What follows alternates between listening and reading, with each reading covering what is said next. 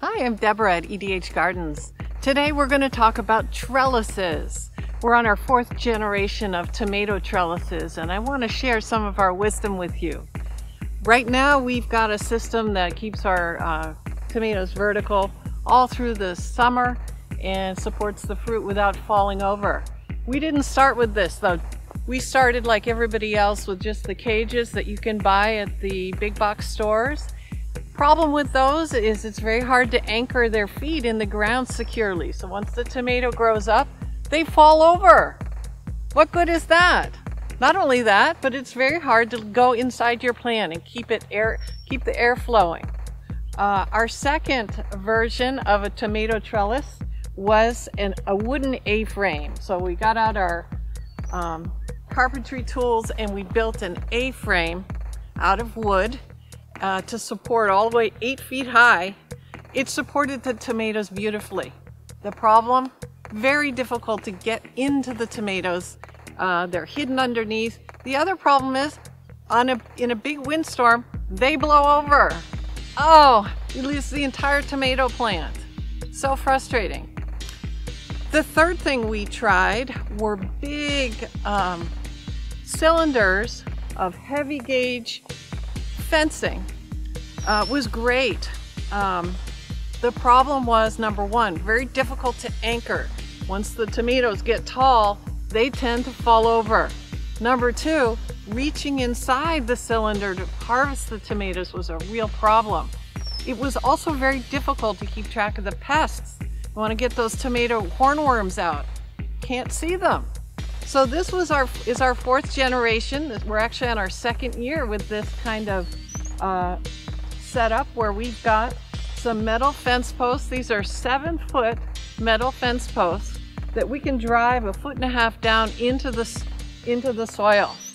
It takes a little bit of work with a, a sledgehammer to get them in. Make sure you don't uh, nick your irrigation system on the way down. We've done that. Uh, and then hang this heavy gauge uh, seven foot wire fencing on top. Once we've got it in place, we set it up in uh, with the fence posts every three, four feet and unroll the metal fencing in a pattern to give the tomatoes plenty of space. What I love about it, what has been successful for us, I spread the tomato out along the fence so I can look inside the, the plant and check for tomato hornworms. I can spray the entire plant from front to back to get rid of any aphids that may turn up. Best of all, when this fruit starts coming out, I can see it, I can put it in a protective bag, I can monitor it and harvest it when it's ready. I think what the plant would tell you is that it has a much better exposure to sunlight here. So that's what you can see now. We'll show you the rest of our, our garden where you can see we've got plenty of light falling on these leaves. We're gonna have a great harvest this year. What kind of trellis system do you use? What works best in your garden?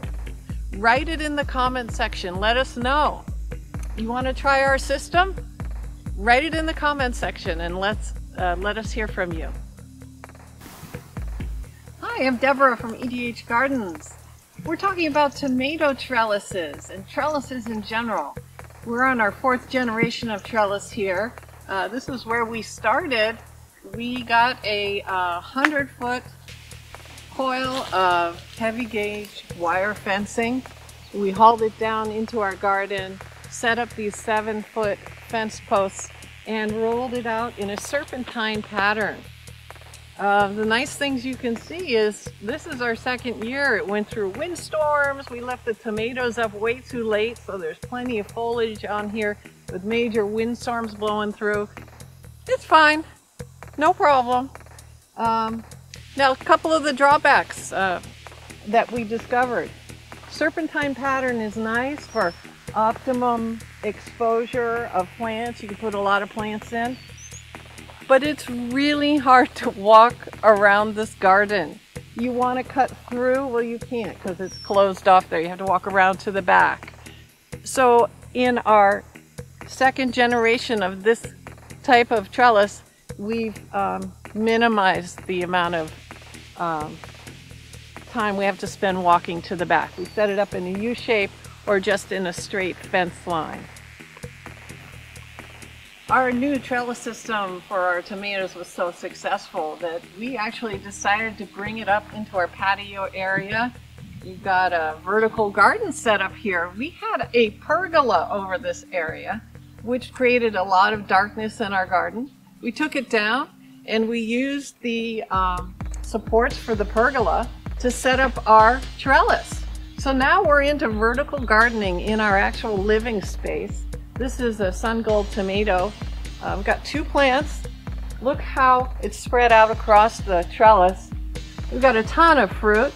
It's set up kind of like our own local candy store because these sun gold tomatoes are so sweet, so delicious. Why not eat healthy when you're just hanging out by the pool? What I love is I can spray this plant. I can keep the aphids off. Uh, I just spray with water, just mechanical uh, dislodging of pests. I can also check it carefully for tomato hornworm. So there's not going to be any little worms in the center that I don't even see till they're big and gorging on our plant. I'm watching right now and I can see all the way through the plant. We love this system so much that we took it over to the other side of our patio area. This is going to be more of just a decorative planting. I know the, the fence is kind of ugly right now, but we've planted some beautiful pink jasmine. Um, it's small now, but these are vigorous growers. We're going to cover this entire uh, fence with pink jasmine. Have a lovely fragrance here for family lunches out by the pool. Vertical gardening is the way to go. It absolutely is fabulous.